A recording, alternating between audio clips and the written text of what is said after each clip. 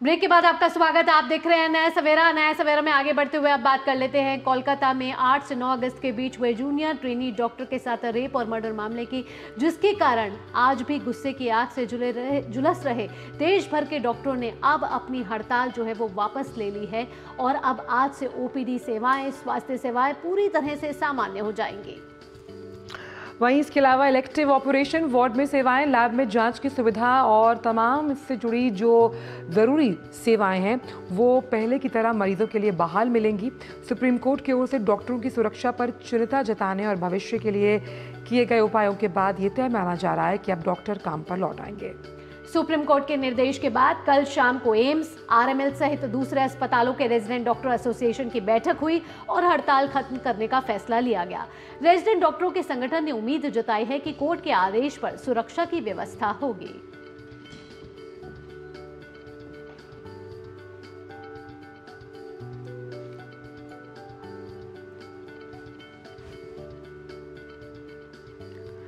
वही बात करते हैं पश्चिम बंगाल की, जहाँ डॉक्टरों की हड़ताल जारी है। कोलकाता रेप और मर्डर केस को लेकर सीबीआई सच का पता लगाने के लिए जुटी हुई है। वहीं सीबीआई टीम ने की अगर बात करें तो आज जो जूनियर डॉक्टर्स हैं, उनका जो प्रतिनिधिमंडल है, वो सीबीआई से मुलाकात कर सकता है। और इस मामले में आरजीकर मेडिकल कॉलेज के पूर्व प्राचार्य यानी कि पूर्व प्रिंसिपल संदीप घोष की मुश्किलें बढ़ने वाली हैं। सीबीआई आज संदीप घोष का पॉलीग्राफ टेस्ट करा सकती है। सियालदह कोर्ट ने सीबीआई को पॉलीग्राफ टेस्ट कराने की मंजूरी दे दी है। सीबीआई इस मामले में संदीप घोष के अलावा चार ट्रेनी डॉक्टर्स का पॉलीग्राफ टेस्ट कराएगी। इससे पहले सीबीआई संदीप घोष से कई दौर की पूछताछ कर चुकी है। आपको बताएँ कि सीबीआई संदीप घोष से अब तक करीब 88 घंटे की पूछताछ कर चुकी है।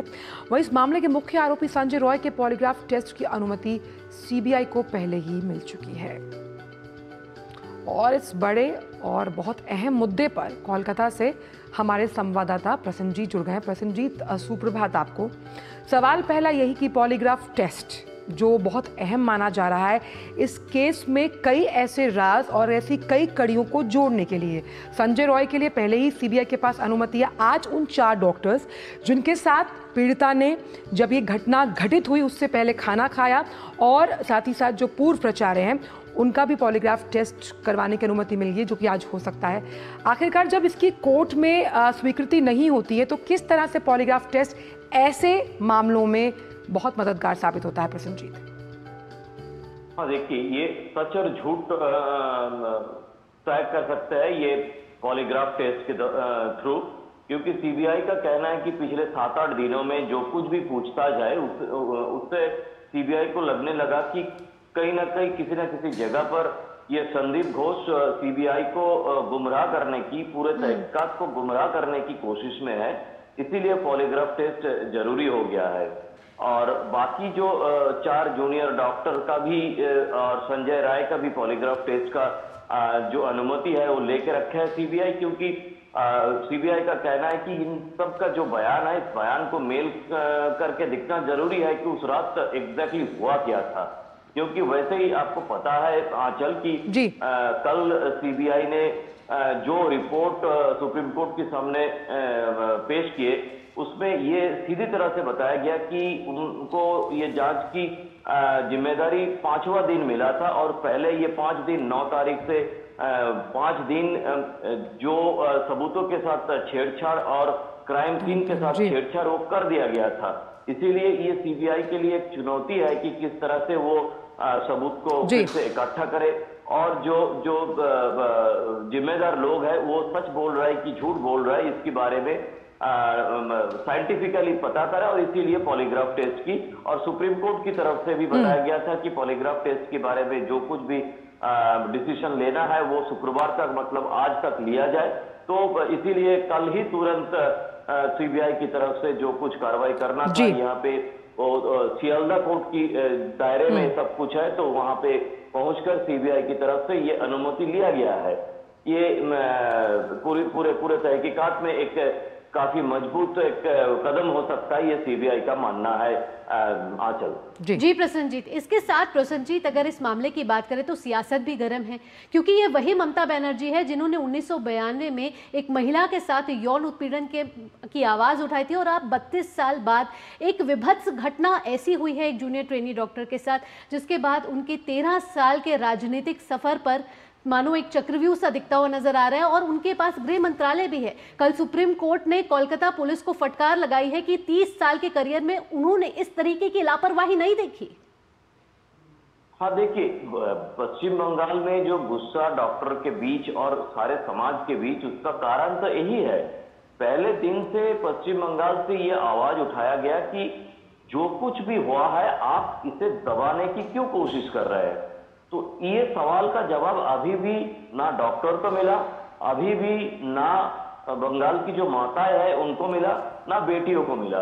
इसीलिए ना पूरे देश में जो कुछ भी हुआ है मतलब डॉक्टर काम पे लौट रहे हैं, ये ज़रूरी है। मरीज़ का जो तकलीफ़ है, इसके बारे में सोचना ज़रूरी है।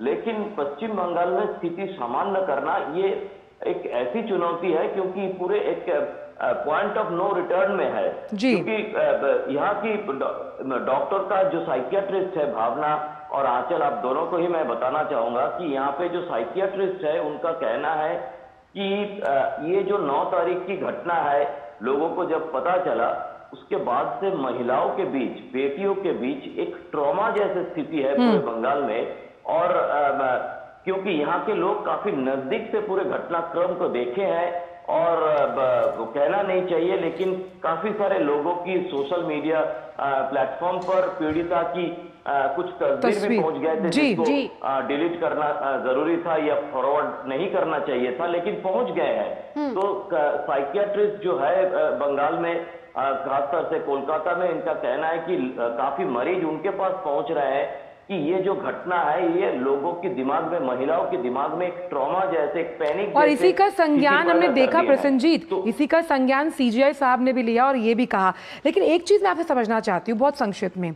अगर इस पूरे केस को देखें तो दो अहम किरदार जिसमें घोष बाबू और साथ ही साथ संजय रॉय। जहाँ घोष बाबू को कई पत, अगर समाचार पत्रों की बात कही जाए तो उन्हें लाशों का सौदागर कहा गया। यानी कि उनका जो पिछला इतिहास है वो बिल्कुल स्याह है। संजय रॉय मानसिक विकृति के तौर पर उसकी भी कई परिचय जो साइकाइट्रिस्ट उससे डील कर रहे हैं वो सामने आ रहे हैं। ऐसे में अब इस केस के लिए सबसे बड़ा टर्निंग पॉइंट क्या हो सकता है? टर्निंग पॉइंट ये पॉलीग्राफ टेस्ट ही है क्योंकि हम्म। जिस तरह से सबूत मिटाया गया, जिस तरह से जगह के साथ छेड़छाड़ किया गया है, इसमें चाहे आप कितना बड़ा भी जिससे कहते हैं डिटेक्टिव होना क्यों, आपके लिए एक चुनौती है। और इस इस टर्निंग पॉइंट के लिए डॉक्टर इंतज़ार कर रहा है कि पॉलीग्राफ टेस्ट हो और वहाँ से कुछ निकाल के आए और ये पता चले कि यहाँ पे मांग एक ही है, जस्टिस की चाहत वी वांट जस्टिस क्योंकि पहले जो पुलिस ने संजय राय को गिरफ़्तार करके रखे थे उसके आगे कुछ आ, आ, आ, क्या कहते हैं कुछ डेवलपमेंट है तहकीकात का इसका कोई भी अंदाज़ा डॉक्टर को नहीं मिल रहा है ना समाज को मिल रहा है। इसीलिए इस पॉलीग्राफ टेस्ट की तरफ़ पूरे बंगाल की निगाहें टिकी हुई है कि पॉलीग्राफ टेस्ट हो उससे कुछ निकाल के आए और लोगों को पता चले कि आठ और नौ तारीख के बीच उस रात को एग्जैक्टली exactly हुआ क्या था? इस बर्बरता की कारण क्या है? और इस बर्बरता के पीछे कौन से लोग थे? जी प्रसन्नजीत।